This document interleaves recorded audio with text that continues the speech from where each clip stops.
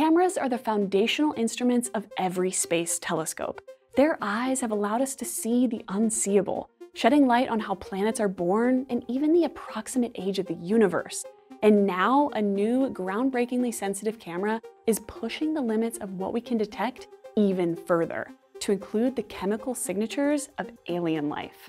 When the James Webb Space Telescope finally launches, its suite of next-generation imaging systems will give us views of the universe we've never seen before. But there's one important instrument that James Webb doesn't have, one that could unlock the secret recipe of extraterrestrial life. That's where this new camera comes in. Developed by a team at NIST, it is composed of sensors so sensitive that they count single particles of light or photons to generate an image and it was developed partially in the hopes of flying it on NASA's next, next generation telescope, Origins. I think what we can offer with our detector technology is that because they're superconducting, they're more sensitive and they also have lower noise. All cameras do the same thing, analyze light, but different kinds of systems can be used to see different things. Wide field cameras look at objects in various wavelengths and are actually what helped us take the first image ever of an exoplanet in visible light. But to find out details about an exoplanet, like its chemical makeup and potential to harbor life, a spectrograph is used. Similar to how a prism splits light into a rainbow, this instrument breaks down light within the EM spectrum into its component parts. By doing so, it allows us to study any object that absorbs light and identify its unique characteristics. An interferometer can then come in to make precise measurements on the object's relative position and brightness. What's important to note is that every one of these cameras is equipped with sensors, which translate their light measurements into electrical signals. And the more sensitive they are, the better.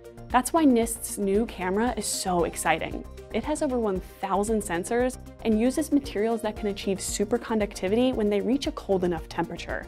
This transition temperature is the point at which a material no longer has any resistance. With future space telescopes, NASA is always trying to figure out better ways to improve the signal and reduce the noise, especially for things like exoplanet spectroscopy, which is the application that we're really targeting. Remember that a spectrograph can identify the characteristics of any object that absorbs light? Well, with more sensitive detectors, it can pick up on a broader range of wavelengths more easily. This increases its chance of spotting signs of alien life. Basically, the idea is that every molecule or chemical element has a very unique spectral signature. The signals of interest lie between wavelengths of about 2 microns out to 20 microns in wavelength. If we're going to look for chemical signs of life on other planets or even on the Earth, all those elements have absorption lines within that range of wavelengths. Elements like oxygen, water vapor, and gases like CO2 lie within this range and are just some of the signs of life that we're on the lookout for.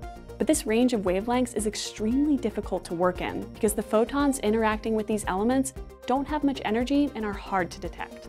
To overcome this obstacle, NIST had to think small. As soon as a photon meets the detector array, it absorbs into its nanometer scale wires, this encounter generates lots of heat, disrupting the superconductivity in a tiny region of the wire for a flash of an instant, creating a pulse. Because each pulse conveys information, being able to sense the smallest amounts of light energy has the potential to yield huge rewards. By stitching together these pulses of information, we can not only gather many more clean signals, potentially indicating extraterrestrial life, but perhaps even detect the interactions of elusive dark matter with other particles out in space.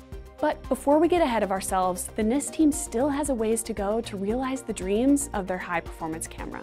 This is basically a very first rudimentary demonstration that we've done creating this array. There's still a lot of work to do to optimize it.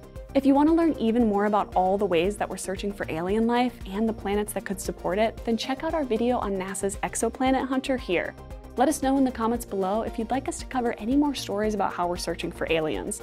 And make sure to subscribe to Seeker for all your space news. Thanks for watching, and I'll see you next time.